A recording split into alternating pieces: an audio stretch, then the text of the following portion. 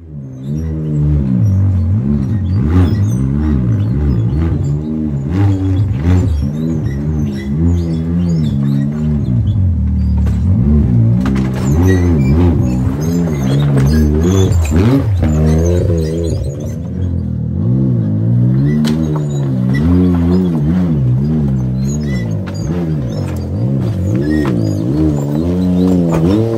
-hmm. you.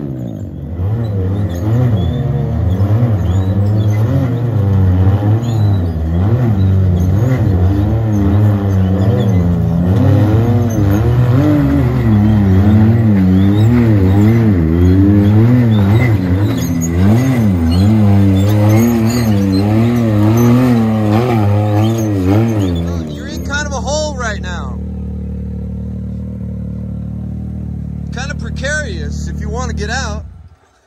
Do what? It's kind of precarious if you're trying to get out of the car. Well, yeah, I was gonna park right here out of the way, but now I'm about to flip over. Um, you're right on the edge. Yeah. So somebody would just pull on this door. We'll wait for Chad. Okay. What has he done?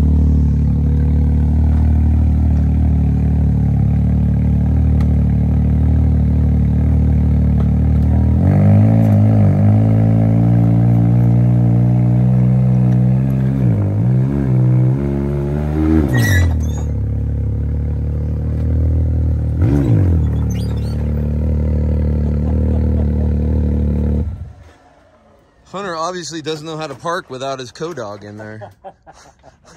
he loses sight. He loses everything when you're not in there. Yeah, we can't leave him unsupervised. what were you trying to do, Hunter? I suck. I told you. Chad gets out to take a piss, and I'm going to flip it trying to park the car.